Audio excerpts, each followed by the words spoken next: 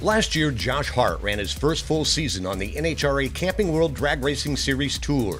And even though his crew chief Ron Douglas has loads of experience, it was still a learning experience for the whole team. Great experience for Josh uh, to, to understand the, the, uh, the demands of running the full tour.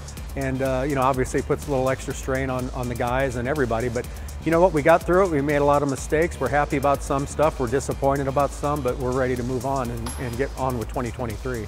Speaking of 2023, they just took delivery of a brand new chassis on Friday that's built specifically for Josh. We want to just make sure that he's as comfortable as he can be, uh, you know, because that just helps from a physical driving standpoint and also mentally. We want him to know that everything is tailored to him.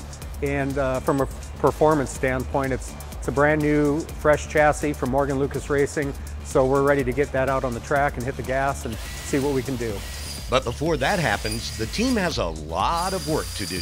A big part of that's going to be where uh, my guys Dave Gatterell, uh, Scott Seizing, and Kenny Carson are going to come in. There's a lot that has to be done, just fitment of a lot of pieces. You know, we have to put the rear end in, put an engine in.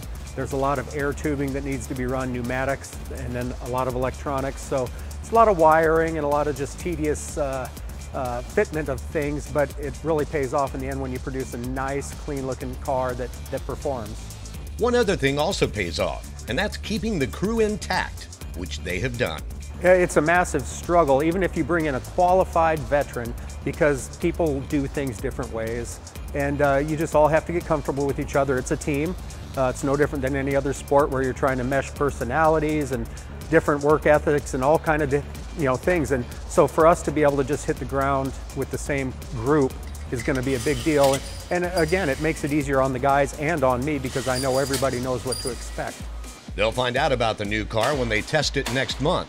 And then it's time to kick off the season in March at the Gator Nationals. For the NHRA, I'm John Kernan in Indianapolis.